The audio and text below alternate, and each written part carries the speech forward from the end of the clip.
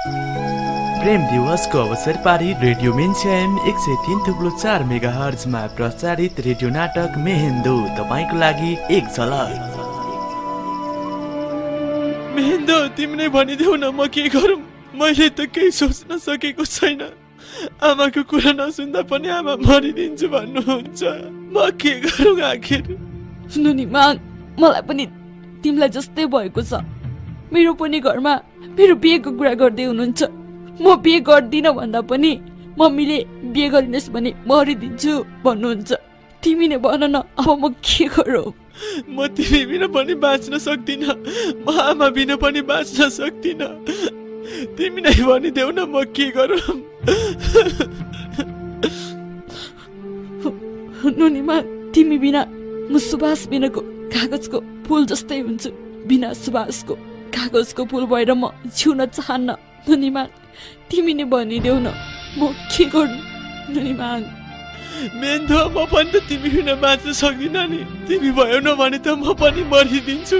मेन्धो तिमी फुल हौ भने म सुभाष हो। फुल बिना सुभाषको के अस्तित्व रहन्छ र? नुनीमाग म पनि मेरो मम्मीलाई गुमाउन चाहन्न। नुनीमाग तिमी मलाई भुलिदेऊ ल। म तिमीलाई धेरै माया गर्छु।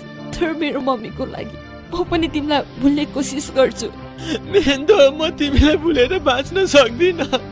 म तिमीसँग बिहे गरेर आमालाई पनि घुमाउन चाहन्न। म के गरौँ? नुनीमाङ म तिमी बिना बाँच्न सक्दिनँ। बरु म मरिदिन्छु अरूको भएर बाँच्नुभन्दा त। यस्तो कुरा नगर्नु न प्लिज मेहेन्दो हामीले आफ्नो लागि नभए पनि आमा बाबाको लागि बाँच्नु पर्छ हामीले आमा बुवाको लागि दुई किनार हुनुपर्छ हे भगवान् मैले कस्तो ठुलो पाप गर्न लागेछु। मलाई माफ गरिदेऊ छोरी। मैले तिम्रो मायालाई बुझ्न सकिनँ। मलाई माफ गरिदेऊ छोरी। मम्मी तपाईँले के भन्नुभएको? मम्मी त्यसो नभन्नुहोस् न। छोरा मलाई माफ गरिदेऊ ल। मैले पनि तिमीहरूको मायालाई बुझ्न सकिनँ। अब फेरि सबैजना रोएर के हुन्छ र? जे हुनु भइसक्यो अब फेरि हामीले यस्तो गल्ती गर्नुहुन्न। ठिक भन्यौ साङ्बो तिमीले। अब हामीले यिनीहरूलाई प्रेमीको जोडीबाट जीवन साथी बनाउनु पर्छ। कि कसो हौ? तपाईँले ठिकै भन्नुभयो।